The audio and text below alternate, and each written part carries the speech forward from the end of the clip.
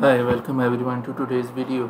Today I'm going to answer one of the questions that is commonly asked by Zotero users that how we can add citation with username outside the brackets.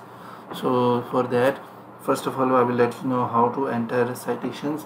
We go in Zotero. First of all you have to make sure Zotero is opened and you open and, and press the Zotero plugin button and go in add citation so first of all I will let you know how to add citation with brackets. You will write the name of the author and find the citation that you are looking for.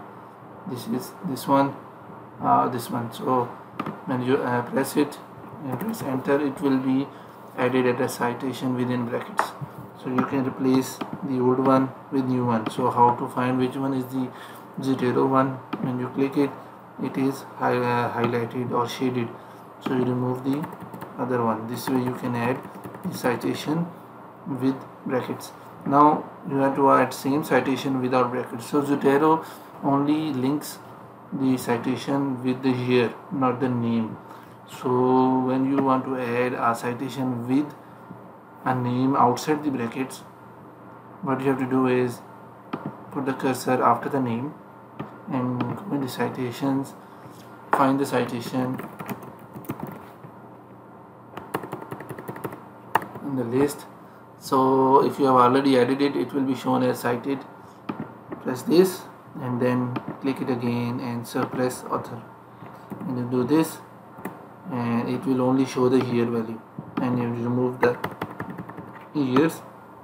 Now this citation is actually citation with names are outside and years inside.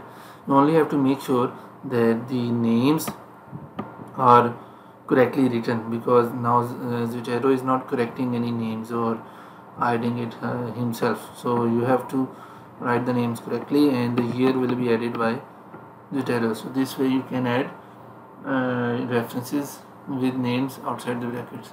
Now uh, in my video the the references are actually by default set to APA so if you change it into another any other format the the citation style will also change. Thank you very much for watching watching the video. Do subscribe and like and share any comments so that the new video can help in sorting the questions. Thank you